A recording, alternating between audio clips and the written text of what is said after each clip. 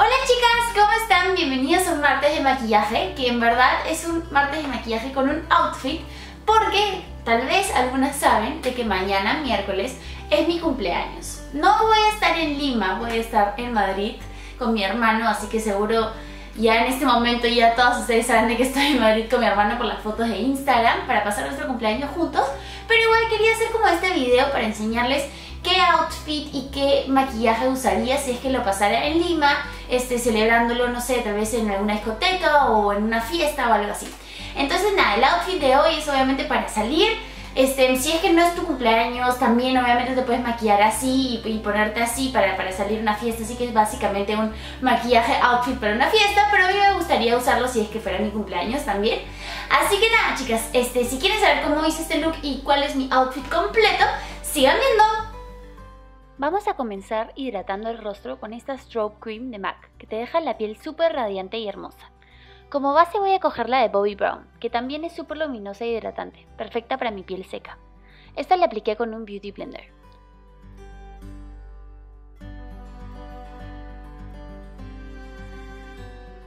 Para tapar las ojeras y mis cachetitos rojos por el sol, voy a usar el MAC Pro Longwear Concealer.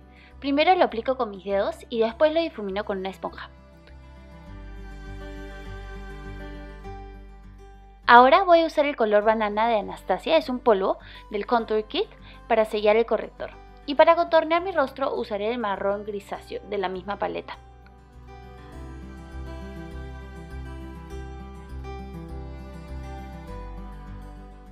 Para iluminar voy a usar este rubor brilloso de MAC en el tono Beaming Blush. Me encanta echarme un montón de iluminador, por si no lo han notado hasta ahora.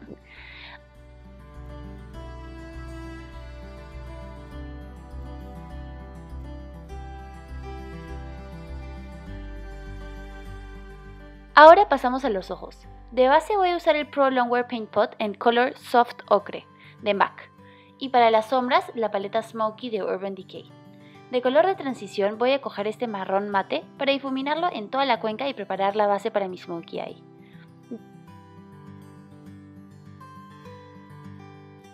De ahí, con pequeños toques, voy a aplicar el negro. Esto me servirá de base para la sombra líquida que voy a poner encima.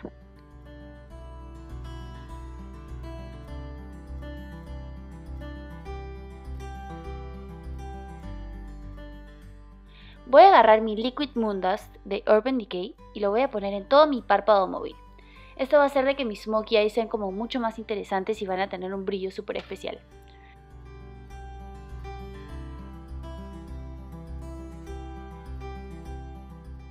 Ahora pasamos al párpado inferior. Cuando tenemos mucha información en el superior, tenemos que darle un poco de ahumado también abajo, para que no se vea raro o disparejo. Yo lo hice con el marrón mate de la paleta y un delineador negro.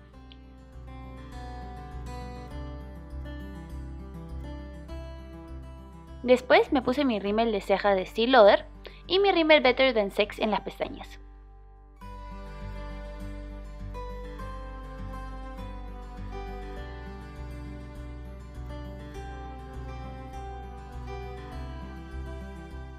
Para los labios usé el Kylie Lip Kit en Exposed, porque me gusta usar un color nude cuando tengo unos smokey eyes tan fuertes. Si le pusiera como que un rojo o un vino, me parecería como que ya muy oscuro el look completo.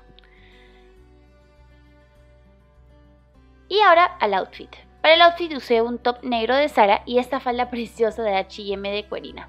Me encanta la textura que tiene, eleva demasiado cualquier outfit que podría ser súper simple si es que fuera una falda negra normal. Y para el toque final, obviamente, mis tacos favoritos del momento, estos preciosos de Buttrich, que son súper cómodos para bailar toda la noche.